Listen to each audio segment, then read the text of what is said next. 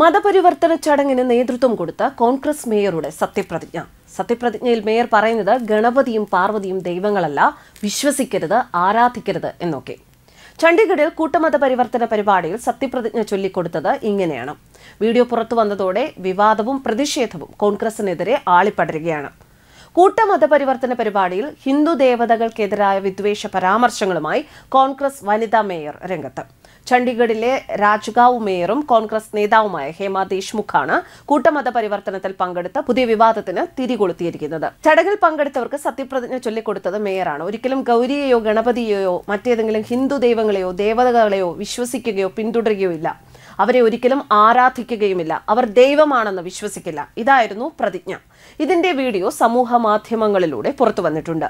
Video വൈറലായതോടെ പരിപാടിയിൽ പങ്കെടുത്തതായി ഹേമ ദേശ്മുഖ് സമ്മതിക്കുകയും ചെയ്തു. എല്ലാ വർഷവും മതപരിവർത്തന ചടങ്ങ് സംഘടിപ്പിക്കാറുണ്ട് എന്നും മുൻമന്ത്രി രമൺ സിംഗും ചടങ്ങിൽ ഉണ്ടായിരുന്നു എന്നാണ് ഇവർ പറയുന്നത്. പ്രതിജ്ഞയെക്കുറിച്ച് പക്ഷേ തനിക്ക് അറിവില്ലായിരുന്നു എന്നും ഭരണഘടനയുടെ പേരിലാണ് സത്യപ്രതിജ്ഞ ചെയ്യുന്നത് എന്നും കരുതി എന്നാണ് മേയറുടെ വാദം. ഹിന്ദുമതത്തിനെതിരായ വിദ്വേഷം പ്രചരിപ്പിക്കുക മാത്രമാണ് കോൺഗ്രസിന്റെ ലക്ഷ്യമെന്ന് ബി ജെ പി ദേശീയ വക്താവ് സുധാൻഷ്യ ത്രിവേദി ആരോപിച്ചു. കഴിഞ്ഞ ദിവസം മറ്റൊരു കോൺഗ്രസ് നേതാവും ഹിന്ദുക്കളെ ഇത്തരത്തിൽ അപമാനിച്ച് രംഗത്തെത്തിയിരുന്നു. സതീഷ് ജാക്രഹോളി എന്ന നേതാവായിരുന്നു വിവാദ പരാമർശം കഴിഞ്ഞ ദിവസം നടത്തിയത്. ഹിന്ദു എന്ന വാക്കിന്റെ അർത്ഥം അറിയുമ്പോൾ നിങ്ങൾ നാണം കെടും. വാക്കിന്റെ അർത്ഥം വളരെ വൃത്തികെട്ടതാണ്. ഇത് ഞാൻ പറയുന്നില്ല എന്നായിരുന്നു കോൺഗ്രസ് നേതാവിന്റെ വാദം. പരാമർശം വിവാദമായി പരാമർശം വിവാദമായതോടെ സംഭവം ന്യായീകരിച്ച് അദ്ദേഹം മാപ്പ് പറഞ്ഞിരുന്നു. രാജ്യത്ത് പല ഭാഗത്തും മതപരിവർത്തന ലോബി കേന്ദ്ര സർക്കാരിനെതിരെ പ്രവർത്തിക്കുന്നുണ്ട് എന്നതാണ് വസ്തുത.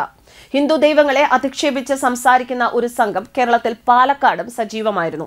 സവിശേഷ പ്രസംഗത്തിന്റെ മറവിലാണ് ഹിന്ദു ദൈവങ്ങളെ അധിക്ഷേപിക്കാൻ പാലക്കാട്ട് നീക്കം നടന്നത്. എന്നാൽ നാട്ടുകാർ ഇടപെട്ട് മതപരിവർത്തന ലോബിയെ തടയുകയും സുവിശേഷകർക്കെതിരെ പോലീസിൽ പരാതി നൽകുകയും ചെയ്തു. സുവിശേഷ പ്രസംഗം എന്ന പേരിലാണ് മതപരിവർത്തന സംഘം പാലക്കാട് പല്ലശ്ശനയിൽ എത്തിയത്. എന്നാൽ പ്രസംഗത്തിനിടെ ഇവർ ഹിന്ദു ദൈവങ്ങളെ അധിക്ഷേപിച്ച് samsarikkeerno. ആദ്യം പരാമർശങ്ങൾ നാട്ടുകാർ ഗൗരവത്തിൽ എടുത്തിരുന്നില്ല. എന്നാൽ രൂക്ഷമായ അധിക്ഷേപം ഇവർ തുടർന്നതോടെ നാട്ടുകാർ സംഭവത്തിൽ ഇടപെട്ട് തടയുകയായിരുന്നു. പ്രസംഗം അവസാനിപ്പിച്ചു മടങ്ങാൻ നാട്ടുകാർ സുവിശേഷ പ്രാസംഗികരോട് ആവശ്യപ്പെടുകയും ചെയ്തു. എന്നാൽ ഇവർ നാട്ടുകാരോട് തിരിച്ച് കയർക്കുകയും പ്രസംഗം അവസാനിപ്പിക്കാൻ ആവശ്യപ്പെട്ടപ്പോൾ അസഭ്യം പറയുകയുമാണ് ചെയ്തത്. ഇതുപോലെയുള്ള പല പ്രവർത്തനങ്ങളും പലയിടത്തും നടക്കുന്നുണ്ട്. കഴിഞ്ഞ ദിവസം റാഞ്ചിയിൽ നിന്നും ഇത്തരത്തിലൊരു വാർത്ത റിപ്പോർട്ട് ചെയ്തിരുന്നു. ഝാർഖണ്ഡിൽ ഹിന്ദു സ്ത്രീകളെ നിർബന്ധിത മതപരിവർത്തനത്തിന് ഇരയാക്കാൻ ശ്രമം നടക്കുന്നതായിട്ടായിരുന്നു ആ സംഭവം. ആ സംഭവത്തിൽ അഞ്ച് സ്ത്രീകളെ പോലീസ് അറസ്റ്റ് ചെയ്യുകയും ചെയ്തു. പർമീല ലക്രയിലെ റോഷ്നി മനീഷ ടിഗ്ഗ സ്വദേശിനികളെയാണ് പോലീസ് അറസ്റ്റ് ചെയ്തത്. പ്രദേശവാസിയായ പൂനം സിംഗിന്റെ പരാതിയിലായിരുന്നു അറസ്റ്റ്. പ്രതികളായ സ്ത്രീകൾ ഹിന്ദു വീടുകൾ തോറും കയറി ഇറങ്ങുന്നത് പൂനം സിംഗിന്റെ ശ്രദ്ധയിൽപ്പെട്ടപ്പോൾ ഇതിനെക്കുറിച്ച് അന്വേഷിച്ചപ്പോഴാണ് മതപരിവർത്തന ശ്രമമാണ് എന്ന് വ്യക്തമാക്കിയത്.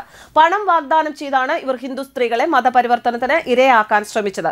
ഇതിനു പുറമെ ക്രിസ്തുമതം സ്വീകരിച്ചാൽ രോഗശാന്തി ഉൾപ്പെടെയുള്ള ഗുണങ്ങൾ ഉണ്ടാകുമെന്നും ഇവർ പറഞ്ഞു വിശ്വസിപ്പിച്ചിരുന്നു. പരാതിയുടെ അടിസ്ഥാനത്തിൽ പ്രദേശത്തെത്തിയ പോലീസ് സ്ത്രീകളെ ചോദ്യം ചെയ്യുകയും ചെയ്തു. ഇതോടെയാണ് നിർബന്ധിത മതപരിവർത്തന ശ്രമമാണ് എന്നത് വ്യക്തമാക്കിയത്. ഇത്തരത്തിൽ നിർബന്ധിത മതപരിവർത്തന ശ്രമം രാജ്യത്ത് പല ഭാഗത്തും മോദി സർക്കാരിനെതിരെ നടക്കുന്നുണ്ട്. കഴിഞ്ഞ ദിവസം അമേരിക്കയിലെ വൈറ്റ് സ്ട്രീറ്റ് ജേണലിൽ ഒരു റിപ്പോർട്ട് പുറത്തു വന്നിരുന്നു. മോദിയെ തകർക്കാൻ ലക്ഷ്യമിട്ട് നടക്കുന്ന നിർബന്ധിത മതപരിവർത്തന ലോബിയെക്കുറിച്ചായിരുന്നു ഈ റിപ്പോർട്ട്. ഇത് ശരിവെക്കുന്നത് തന്നെയാണ് രാജ്യത്ത് പല ഭാഗത്തു നിന്നും വരുന്ന ഇത്തരത്തിലുള്ള വാർത്തകൾ സൂചിപ്പിക്കുന്നത്. News desk കർമാനുസ്.